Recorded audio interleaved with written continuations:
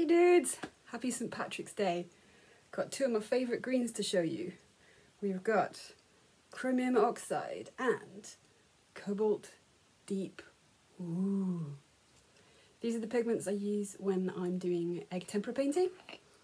So uh, pure pigments that you then mix with um, egg yolk uh, and a bit of vinegar. I'll show you that one another day. Uh, they're raw, so be really careful not to inhale them. Uh, but the colour's amazing. Really vivid. Ooh. Happy St. Patrick's Day. Bye guys.